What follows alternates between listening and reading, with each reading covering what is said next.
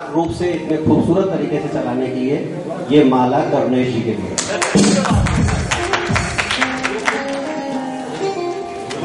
करुणेश जो नाम है अपने आप में करुणा धन ईश।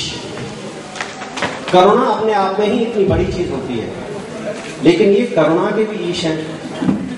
हर समय मुस्कुराते रहते हैं और नोएडा की आवाज़ यूँ ही नहीं कहलाते। वास्तव में ये आवाज़ है।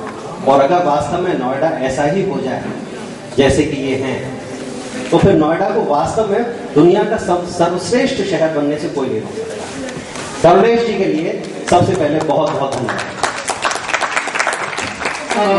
मेरे भाइयों, मेरे दोस्तों,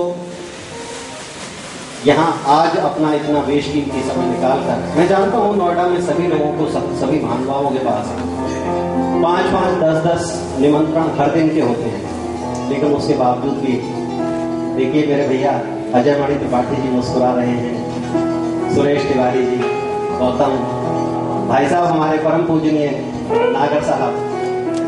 पीछे मेरे प्यार से बोलता हूँ मैं चाँद भाई। सुनील सिन्हा जी नोएडा अथॉरिटी से, रविंदर जी। मेरे यूपीएफसी के मेरे कुलीग्स भारती जी मेरे बोर्ड के सभी सदस्य कोऑपरेटिव डिपार्टमेंट से पधारे हुए सुरेश जी, सभी लोग यहाँ पे मौजूद हैं। मैं सभी लोगों का तहे दिल से बहुत बहुत शुक्रिया अदा करता हूँ कि आज आप आए। आज के कार्यक्रम का थीम कि वर्ष 2009 अच्छा बीता।